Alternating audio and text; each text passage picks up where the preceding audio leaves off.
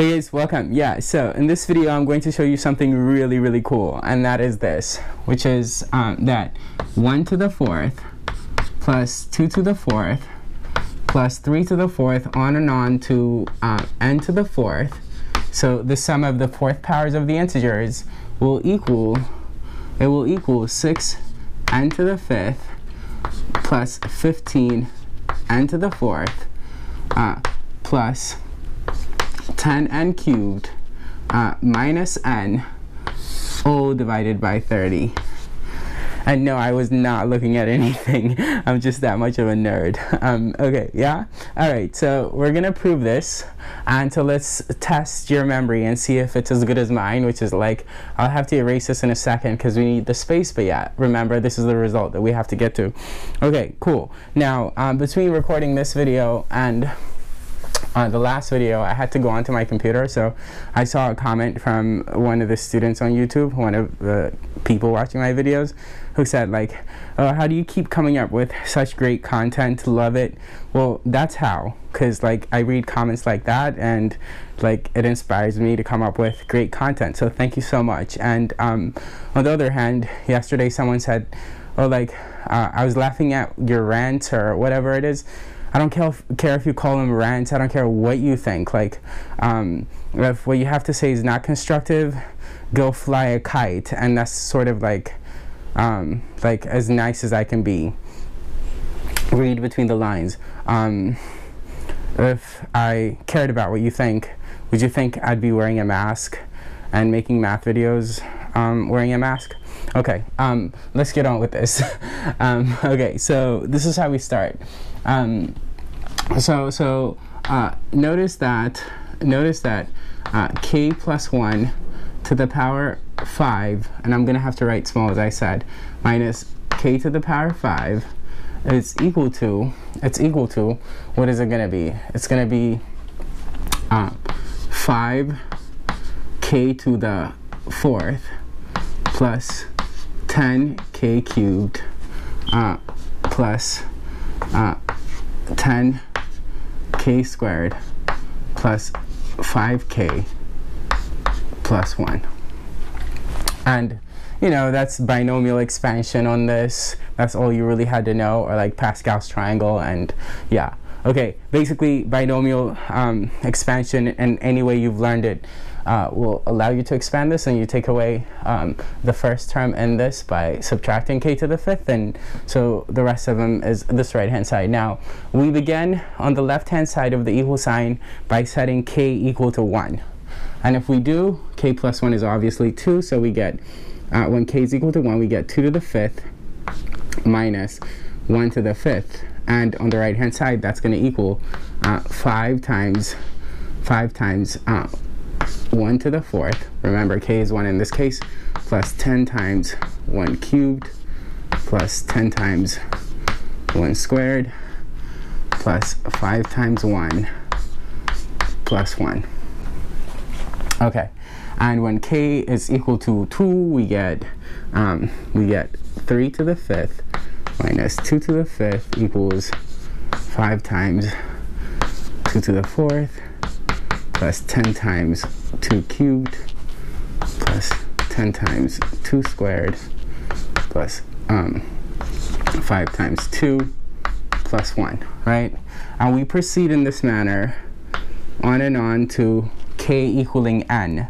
When k is equal to n, we're going to get n plus 1 n plus 1. When k is equal to n, we're going to get n plus 1 to the fifth minus n to the fifth is equal to, uh, it's going to be 5 times n to the fourth, right? 5 times n to the fourth, and then uh, plus 10 times um, n cubed uh, plus 10 times n squared plus uh, 5 times n plus 1. Now,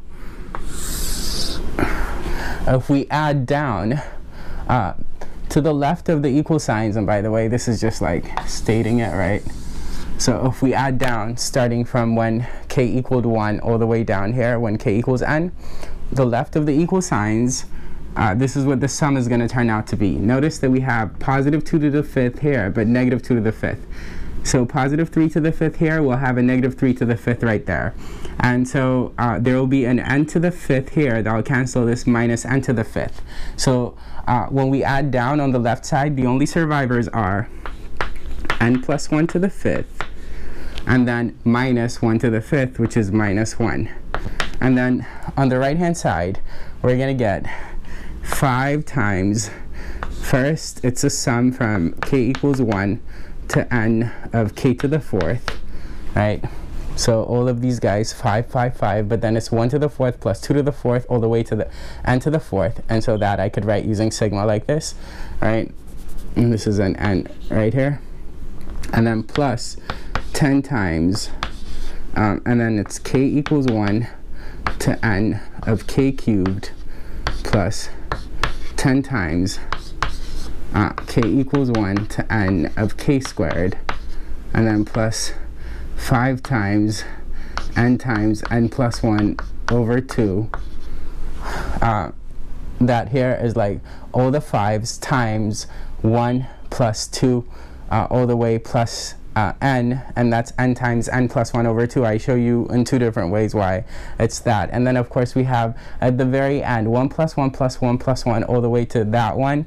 Well, I should have started there, right? Okay, okay, but you get it, you get it, you get it. So that's n, because that's n ones. Yeah?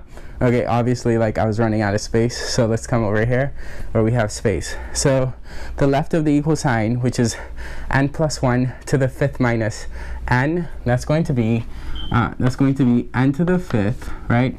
It's going to be n to the fifth plus 5n to the fourth plus 10n cubed plus uh, 10n squared uh, plus 5n plus 1 but then we have minus 1 right there so I could just get rid of this plus 1 uh, what I just wrote right here that is the left of this equal sign.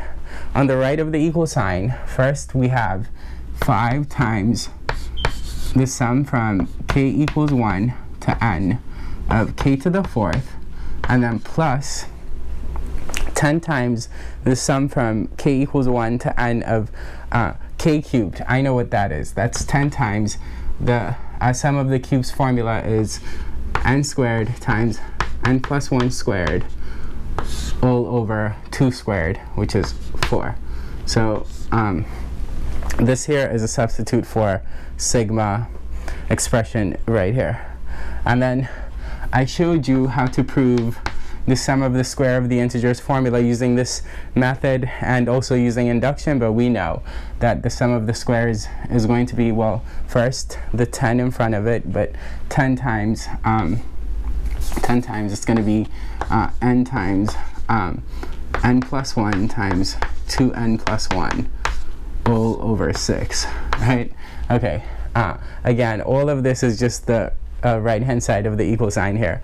Okay, but we're still not done. We still have these two guys at the very end, specific, specifically 5 times the sum of the integers from 1 to n, uh, and so that's 5n times n plus 1 over 2. So what is that? That's going to be um, 5n squared plus um, 5n all over 2, and of course we have the plus n at the very end. Okay, cool. Now let's simplify some denominators and then multiply both sides by some constant that will get rid of denominators. First of all, this I can turn into a 2 and then this will turn into a 5, right? This I can turn into a 3 and this will turn into a 5, right? Okay, um, yeah. And so then now, this is the left of the equal sign right here up top. And all of this, including this last line, is the uh, right of the equal sign, right? So if we multiply both sides of the equal sign by 6, it will get rid of all the denominators on the right-hand side of the equal sign. And so when we do that, what we're going to get is on the left, and I'm to enter this territory now because we don't need this here. So I'm just to write one giant equation in one line, hopefully. So, so what that'll say is this, right? It'll say, again, multiplying both sides of the equal sign here by 6, I'm to have to write 6 n to the fifth uh, plus uh, 30 n to the fourth plus 60 n cubed plus 60 n squared plus 30n is equal to, on the right hand side, well, this multiplied by 6 is going to be 6 times, um, well, 6 times 5, so that's 30, my bad, 30 times, um, it's a lot of stuff to keep track of, k equals 1 to n of uh, k to the fourth, and so again, uh, what I just wrote right here, that is 6 times this here, right? And then 6 times this here is going to be, well, the 6 and the 2 will cancel to a 3, so it's going to be 15, 3 times 5, right? Uh, 15 times this here. So I'll write that as uh, 15 n squared times uh, n plus 1 squared is n squared plus 2n plus 1.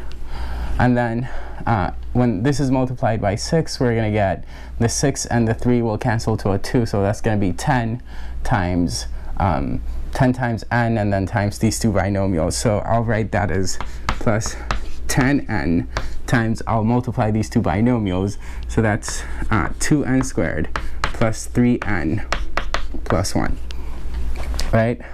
Okay, but somehow this giant equation is not done because then we need to multiply this by um, by 6, right? And we need to multiply this by 6. When we multiply here by 6, what are we going to get? Well, we're going to get uh, 6 and the 2 cancel to a 3, so 15. 15, um, and it's going to be 15n squared, so plus, so we continue on plus 15 um, n squared and then it's going to be plus 15n. But then we have to multiply this n by um, 6, right? Yes. So when we multiply this n by 6, we're going to get plus uh, 6n at the very end. Right? Okay, cool. Now we don't need this line. I better not have made an algebra error. that would be annoying. Okay. So let's start taking off stuff.